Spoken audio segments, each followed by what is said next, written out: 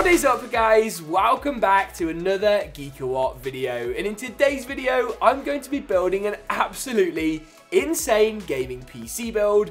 Yes, we've got a 3080, yes, we've got a gold motherboard from MSI, but we've also got the brand new G-Skill Trident Z Royal Elite the successor to what was already the most insane memory on the market. In this video, I'm going to run you through all the component choices, put the system together from start right through to finish, test it out with the biggest titles out there, and of course see how good the system looks in the GeekaWhat montage that you guys know and love. So without any further ado, Let's dive into it after a quick ad from today's video sponsor. The Corsair K70 RGB 10 keyless Champion Series keyboard is one of Corsair's latest releases and builds a keyboard in an awesome 10 keyless form factor. The Champion range has been specifically developed with top esports pros and builds on years of testing. RGB can be easily customized in Corsair iCUE as usual, while durable PBT double shot keycaps and Cherry MX switches guaranteed for 100 million keystrokes keep you on top of your game. Learn more at the link in the description below. Let's come back to the most insane memory ever a bit later. But first, take a look at the motherboard. MSI very kindly sent this out to me for a couple of weeks to take a look at. This is one of their latest motherboards, and yes, your eyes are not deceiving you. This thing is insane. If you take a look around the back, it's got all this like ridiculous shielding on it. And even the rear I.O. is one of the most, if not the most bonkers I've ever seen. So you've got two USB-C Thunderbolt ports with mini display ports in, so you can use these Thunderbolt ports uh, for actually plugging up to a monitor or something like that. You've got, of course, all your audio ports, 2.5 gigabit Ethernet, loads and loads of USB 3 ports, 10 gigabit USB A ports. It's just insane. You've got Wi Fi 6, 4 RAM DIMMs, support for 1, 2, 3, 4 Gen 4 NVMe SSD. It's insane. It's not going to be quite to everyone's taste, but it does look good, especially when it's box fresh like this one is. It's also going to work well for the theme of today's build, which is intended to just be absolutely, completely and utterly ridiculous. The RAM is the next part in that kind of absolute mad aesthetic, but first let's not get carried away, let's install the processor. Now some of you are going to be a little bit confused, James, you've gone for the ultimate build, but you're using Intel. Well, the latest Intel chips, on paper, don't perform quite as well as their AMD counterparts. But when you take the pricing into account, the i9-11900K is better compared to something like a Ryzen 7 5800X, where this chip definitely wins out. If you want to go absolutely balls to the walls, then Threadripper is the one for you, but even here in the office, a Ryzen 9 or an i9 is more than good enough for even our video editing workflows. Moving on to the RAM, and this, I'm so excited for this. I always loved seeing those videos with the old uh, Trident Elite memory, but this stuff, genuinely, I'm struggling to contain my excitement. This is the first time I'm opening this. Oh my goodness. Whoa, look at these. Oh my goodness, look at them. That's ridiculous and it matches the motherboard so well. I know the motherboard's a little bit gold, but these are just incredible. Whoa. Look at the top of that. To be clear, I don't even want to guess how much these cost, and they're absolutely extortionate, but they look insane. I think this is a kind of sleeker design as well than the last generation, and while this top kind of crystal area can look a bit tacky when off, I've heard that when turned on, these things look incredible. So let's get the four RAM DIMMs into the four RAM DIMM slots and take a look. I'm so excited. Look at that. I mean, that you could not get a better match if you tried. That is so silly. Oh my Goodness me. Once we've done that then we can move on to the storage, which isn't bright, isn't sparkly, but it will sit behind one of the M.2 covers. This is Samsung's 980 Pro. If you'd like to learn more about this or basically any other M.2 drive we've ever featured on the channel, I've written reviews on the website, so check those out in the card section now, all linked as ever in the description below. This is a PCIe Gen 4 drive as well, which means you get those super fast speeds in the region of about 7 gigabytes per second. Definitely worth the price premium, especially for a super high-end build like this one. The next step of the build then is to move this motherboard over into the case choice for today's system. Now the case I've gone for is actually the mini version of Lian Li's hugely popular O11D. It featured in our recent top 10 case video for 2021 and for good reason. Despite being a so-called mini version, it's actually quite large with support for 360mm rads at the top and the bottom, although it is a little bit tight. You've got loads of room for fans, full-size ATX motherboard support. The only thing that's really particularly mini is that you have to use a smaller SFX power supply. Let's go ahead and get the case unboxed, a little something like this. Now, this case looks absolutely awesome. The build quality is really nice. You've got a decent I.O. with USB-C. You've got glass on the front and the side. All in all, it's just a really cool case and a really nice form factor. You want to remove all of the side panels, so for us that's the top, both pieces of glass and the rear, before then going ahead and actually screwing the motherboard into place. It's probably easier to lay the case flat on the table when you're installing the motherboard. I've said it before and I'll say it again. It's easier if you're not having to fight gravity and your motherboard's not trying to fall over constantly while you're screwing it in. I'm starting to like the look of this already. Normally in a build like this, I would just go ahead and install the cooler next up. But I'm thinking the power supply might be a better choice. This case is a bit more complex to build in, especially for an inexperienced builder, so it might just take a couple of different attempts to get right. Let's do the power supply now while all the cables are really easy to access and move on to the cooler afterwards. Talking of which, here it is. This right here is the Cooler Master V850 SFX.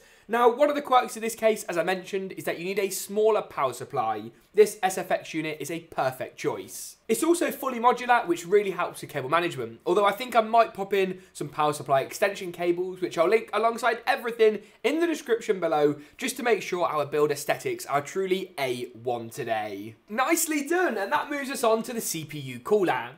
Now this is Corsair's H100i Elite Capellix. It does come with these really nice RGB Capellix fans included, but I've gone ahead and picked up some white QL fans to swap them out with and really match up today's colour scheme. You can't beat Corsair's QL fans when it comes to RGB. Now, I tried to go for a 360mm radiator in a video I made in this case previously, which you can find in the card section now. But to be honest with you, the fit was just way too tight, and this 240mm unit will do a great job of cooling down our 11900K. Let's go ahead and just get all the mounting hardware out the box and check out the installation process. Boys, we have got a problem. We need to install the backplate, as ever, and the motherboard does have a cutout, but the cutout is not big enough. Not only is it covered by the power supply, but it's covered by this white metal. So what I'm going to have to do is I'm going to have to take the power supply out, take the motherboard out, install the backplate, and then put the motherboard back in. I make these mistakes in the build process so you guys don't have to, so let me sort that out and I'll rejoin you in just a second. With one disaster safely averted, I'm going to go ahead and actually pop the radiator into the case around this kind of location, with the water block of course sitting on the CPU. Let's do the radiator and the fans first, and then I'll talk through actually how you install uh, the water block itself, which of course goes in conjunction with the backplate we dealt with just a second ago. In order to do this, you just need to take these included brackets, which slide on uh, to the bottom and to the top of the CPU water block, a little something like that, and then take the included thumb screws. These are what we're going to use to fasten the cooler into place. Pop these LGA 1200 posts around the CPU, slide the water block on top and fasten it into place with those thumb screws. It really is that simple and once you've done that, the CPU cooler is in. Oh, and don't forget to add a drop of thermal paste. A tube comes included in the box, which is always helpful. That is really starting to come together and I was about to say we should move on to the GPU next, but actually we've got a few more fans to install. I'm thinking three 120s at the bottom and three 120s at the top. Now, it does look a little bit better to have these all in exhaust mode as the fans look a bit more uniform, but your temperatures will be awful if you do that, so make sure you have intake at the bottom and exhaust at the top, or vice versa, to give yourself a really nice uh, airflow through the case. These QL fans actually have a fourth RGB ring, which does help uh, when they're in intake mode at the bottom of the case. It's what really differentiates them from the slightly more affordable Allow series. But as I say, I'll link those and the Allows and everything else today in the description below. With the fans installed, I'll go ahead and wire those up later, but first we need to install the graphics card. Now this right here is MSI's RTX 3080 Suprim X. This design has to be one of my favourite GPU designs ever ever, and you can learn why in our full review linked in the description below. With three large fans, it takes MSI's previous flagship Gaming X Trio design to a whole new level, and fights really well the Strix card from Asus. You could pick up a 3080 Ti as well if you wanted a little bit more power, but I actually prefer the 3080 as a standalone GPU, given much better price to performance, even at inflated prices. With nice RGB lighting and a silver design that will wrap in really nicely with the build, I think there's only one way to see what this thing looks like inside the case, and that's to actually go ahead and install it. Now, weirdly, but I'm not complaining, you also get a mouse pad included in the box with the Suprim card, which is a nice little touch before actually revealing the card itself. Look at the size of this GPU. It's absolutely insane. It's massive. It looks incredible and it performs really well. It does actually give you a pretty decent performance bump as well over the Founders Edition 3080, as you can see from some numbers on your screen now. But don't go anywhere because we will be testing the full performance a little bit later in today's video. Hovering the GPU into the case and you can kind of see what aesthetic we're actually going for. That looks ridiculous. And we didn't actually have any GPU clearance issues with the fans here, which is something I was a little bit worried about. Remove the second and third PCI slots. For us, they're already removed. And push back the clip on the slot itself go ahead and slide what is basically a triple slot GPU in a two slot form factor into place, click it in.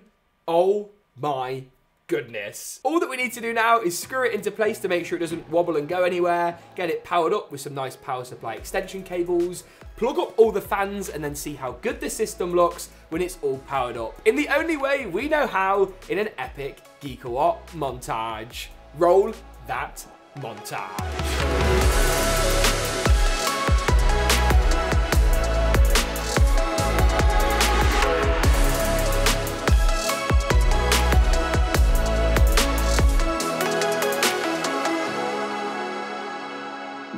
We've seen how good the system looks, it's time to take a look at the performance figures of our awesome Suprim X 3080 and Intel Core i9-11900K. On your screen now, as always, is a summary, a snapshot view of all the different performance numbers we were able to achieve with this system. I'll be looking at some of these titles individually in a second, but as ever, if you'd like to see the full unedited gaming benchmark runs, you can find those on our benchmarking channel in the card section now, with a full suite of benchmarks listed in our 3080 web review linked in the description below. So much content for you all to enjoy past this video. Let's take a look though at some of these titles individually, kicking things off with GTA 5. Here at 4K high settings we achieved an impressive 120 frames per second. This is a really great result, tested in the game's inbuilt benchmarking mode. You can easily repeat this testing for yourself in GTA 5 by copying all of our settings and hitting the tab key, which will give you an identical and super comparable result.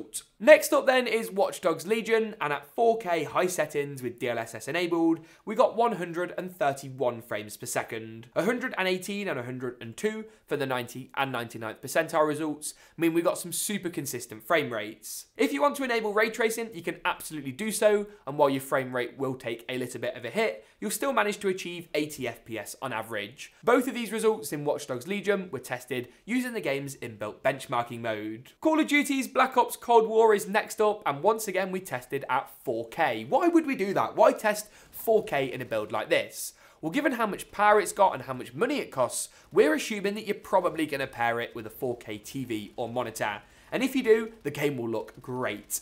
Here at Call of Duty's Cold War, we got 112 frames per second, uh, while leveraging the power of NVIDIA's AI-backed DLSS resolution scaler, with strong 90 and 99th percentile results. Moving on to Apex Legends, and here we managed to achieve some insane frame rates at 4K high settings just under 150 FPS on average, uh, with really, really consistent results. Our frame rate here never really dropped below 119, while sustaining an average of 148. Valorant is next, and here at 4K high settings, we managed to achieve a really impressive 348 frames per second on average. Wow. With 90 and 99th percentile results of 295 and 260. We really were touching some incredible frame rate numbers uh, in Valorant and it really is impressive to see, even if it is of course the easiest game uh, of all of our suite to run. Moving on to Cyberpunk, and at 4K high settings with no ray tracing but DLSS enabled,